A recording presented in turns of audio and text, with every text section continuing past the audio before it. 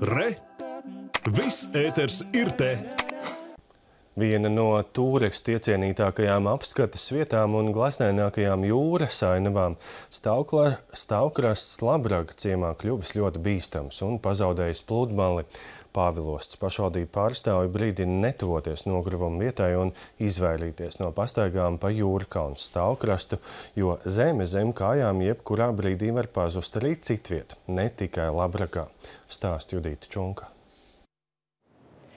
Skaistais stāvkrasts nu vairs nav pieejams. Vairāk simtu metru garumā ir novilktas brīdinošas lentes, un arī atpūtas soliņi nu jau atrodas pašā, pašā malā.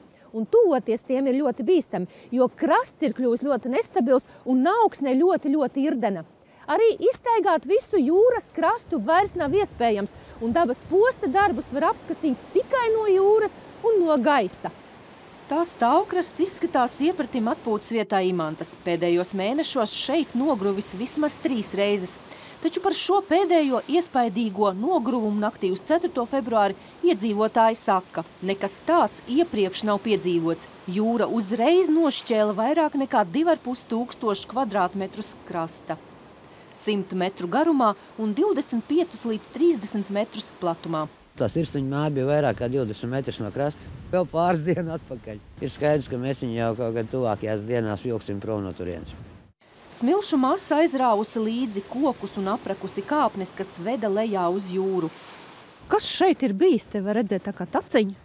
Nu, tas ir vecais robežsargu ceļš. Tas ceļš bija ļoti tālu no krasta. Nu, nu kā ļoti tālu, arī 30 metri apmēram tā, jā.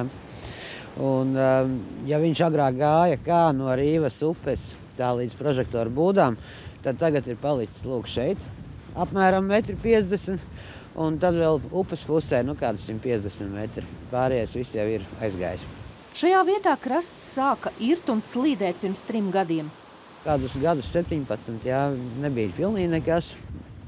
Un tad tagad, kā sāka trīs gadu atpakaļ pa bišķīm ņemt tā jūra, nu tā viņi tagad ņem.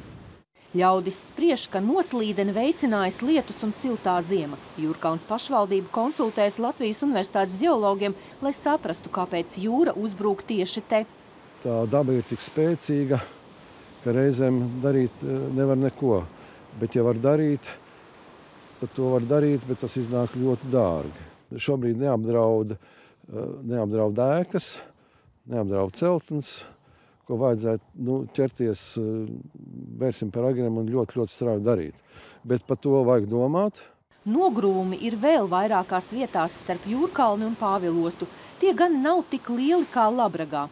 Esam arī izsludinājuši paziņojumu sociālās vietnēs nebraukt un īsti neskatīties tās vietas, tāpēc, ka no jūras puses piekļūt tur ir neiespējami, jo nogrūms ir līdz pašai jūrai, to apskalo ūdens.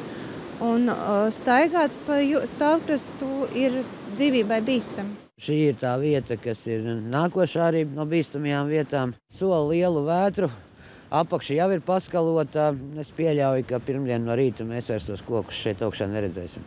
Judīta Čunka, Ivans Milovs, Latvijas televīzija.